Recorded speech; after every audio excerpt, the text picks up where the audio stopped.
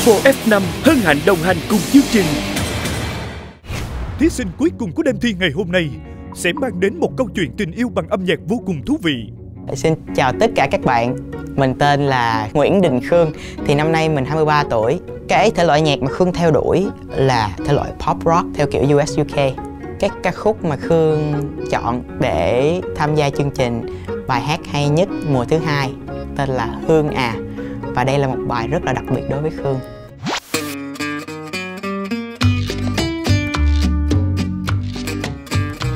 Ừ. chuyện là như thế này. Hồi xưa ba tôi thương mẹ tôi lắm. Mới gặp có vài lần là xách xe chạy 42 cây số lên để gặp mẹ tôi rồi. Lúc đó mẹ tôi ở Long An. Mỗi lần gặp là ba tôi hay chở mẹ tôi lên thành phố chơi, đi công viên và ăn kem kể từ đó, là mẹ tôi thương ba tôi lắm.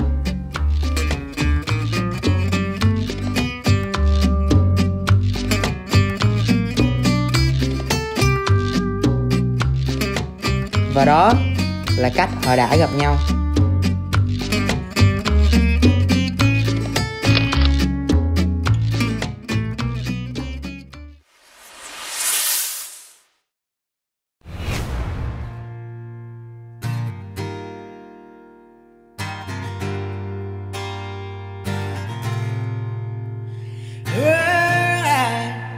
Hãy lắng nghe nhịp trái tim anh đập từng phút giây khi anh nhớ về những ngày mới quay thật đáng yêu và khó quên những kỷ niệm hai chúng ta.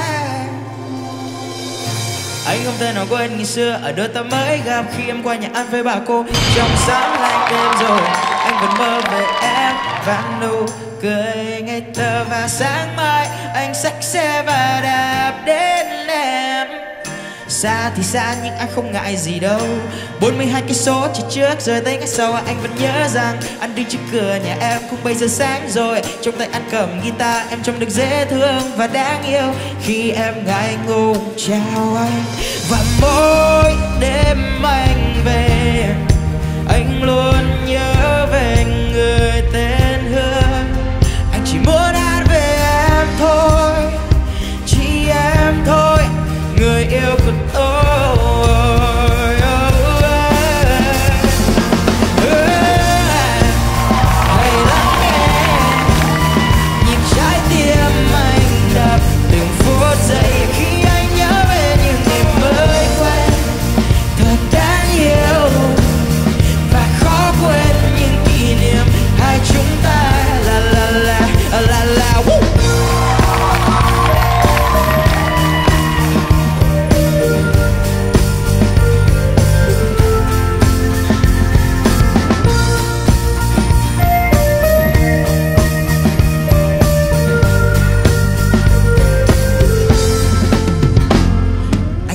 chúng ta ăn kem trên thành phố, Anh còn nhớ chúng ta chạy xe trên đường phố, Anh còn nhớ ngày đó, anh ngỏ lời yêu em và em, ngỏ lời yêu em. Rồi khi anh đi quân đội, Rồi khi anh nhớ về người, Rồi khi người đã đến thăm, Trong tim anh chỉ mãi là em Hương à Bao nhiêu năm đã trôi qua Hương à Tình yêu của đôi ta Hương à Em làm vợ anh nhé.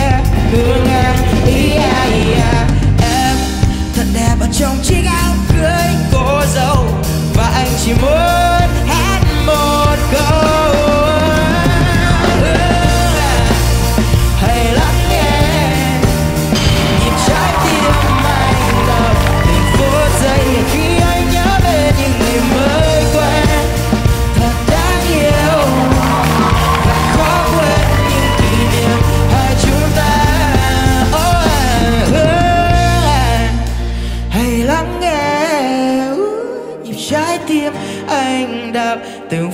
giây khi anh nhớ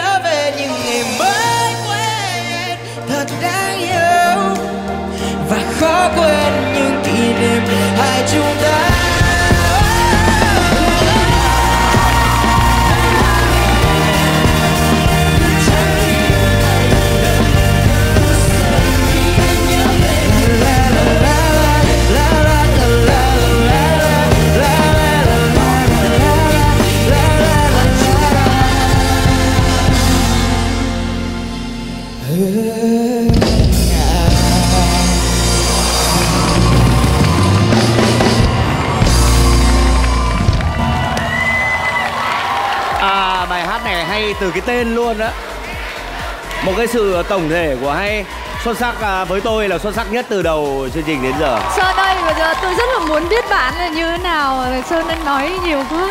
Bạn có thể giới thiệu mình đi. dạ em tên là bạn tên là khương. Đó là Dạ. rồi Vâng, em Nguyễn tên là Khương, Khương. vân vân. Và dạ em muốn gửi một lời chào thân mật tới Thân bốn vị ban giám khảo em? coi như là rất là vui đã được trình diễn ở đây em em nên nói thế này em tên là nguyễn đình khương em có từng yêu một người tên hương. Dạ. Em giới thiệu ngay cái cô hương đó cho tôi. Thì à, đây là tên là cái bài này tên là Hương à em viết về cuộc tình đầu tiên của ba mẹ em. Mẹ em tên Hương.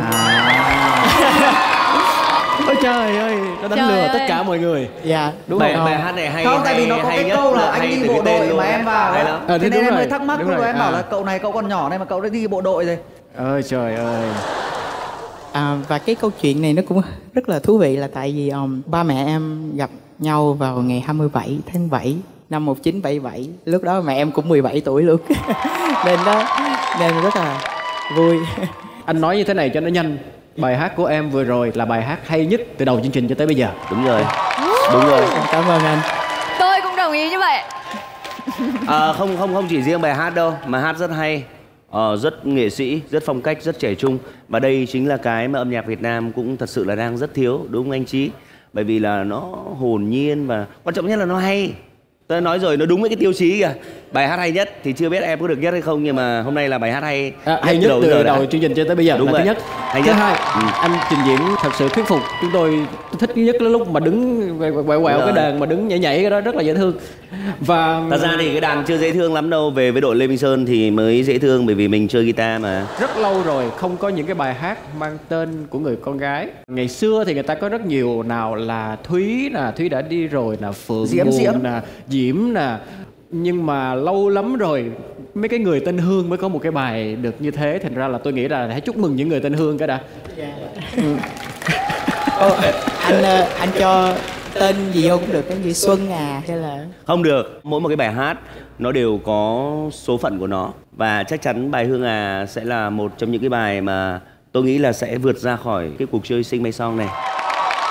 Lúc đầu tôi tưởng rằng là bạn viết về câu chuyện của bạn thì đó là một điều dại dột nhất bởi vì là làm vợ anh em nhé tức là mới vừa yêu mới vừa gì là đã như thế rồi nhưng mà nếu bạn kể rằng đó là câu chuyện của ba mẹ bạn thì là thực sự là một sự vô cùng cảm động và vô cùng dễ thương tôi xin chúc mừng bạn với bài hát vừa rồi dạ em cảm ơn Ờ, có thể nói là chúng tôi đang rất cần những bài hát như thế này. Bạn mang đến một không khí cực kỳ là sôi động. Cái sự sôi động này nó không dễ dãi, nó không dễ dàng và nó vẫn có cái cá tính riêng của bạn. Đó là lý do mà tôi gạt cần.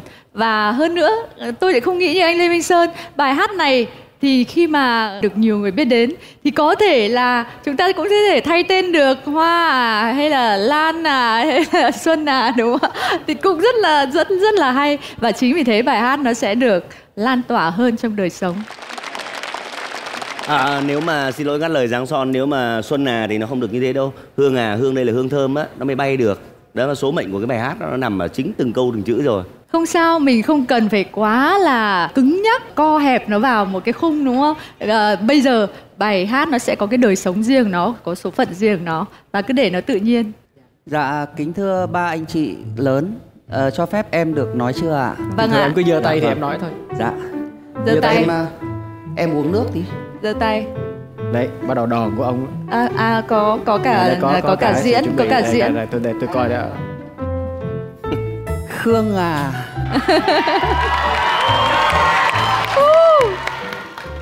Khi mà em hát ấy thì anh có thấy rằng là khi mọi người đã đã gật gạt cần em rồi anh tin rằng khi em bước vào cuộc thi này em cũng có tự tin.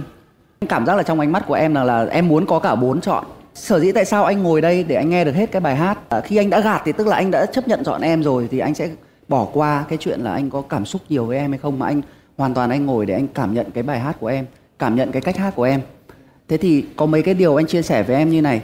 Thứ nhất đấy, nói về cách hát ấy thì em hát các cái phát âm và các cái nhả chữ của em nó cứ bị dính vào với nhau, tức là nó không có chuyên nghiệp. Nhưng cái sự nghiệp dư đấy nó lại có một cái cái hồn nhiên, nó có những cái hay.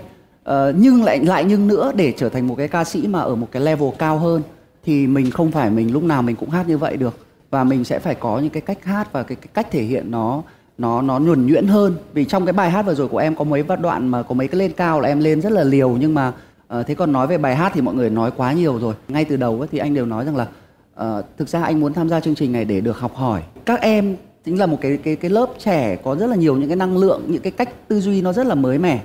Chốt lại thì thực sự là anh từ đầu đến giờ chưa có một cái người nào mà anh yêu mến như em.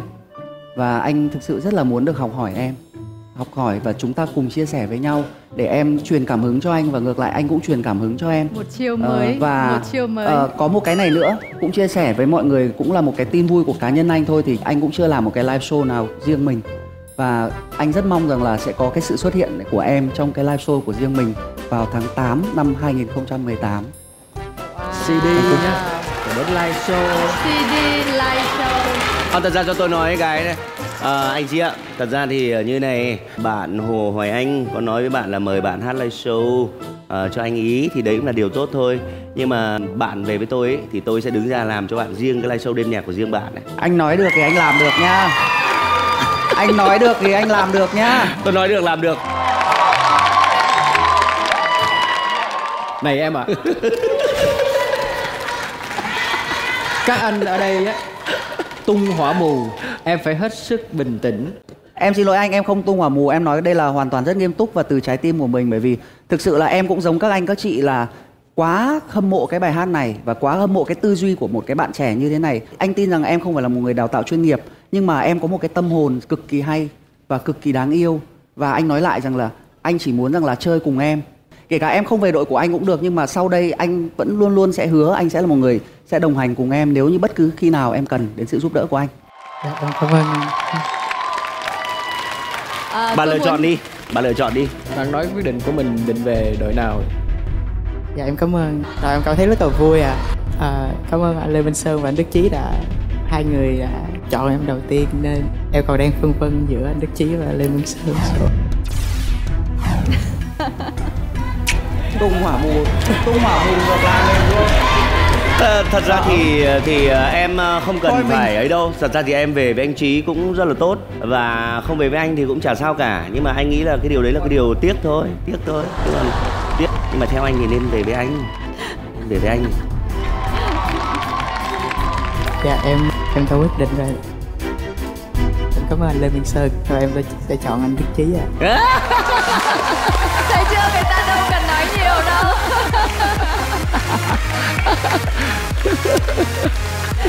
buồn với hai bạn Lê Minh Sơn và Hồ Hoài Anh. À, không phải chia buồn. Phải chia vui chứ. Bởi vì cái điều quan trọng nhất ấy của những người huấn luyện viên ở đây là sẽ tìm ra được những ngôi sao chung của chương trình. Còn chúng tôi thì ờ, nói vậy thôi chứ các bạn về với bất cứ huấn luyện viên nào cũng được cả.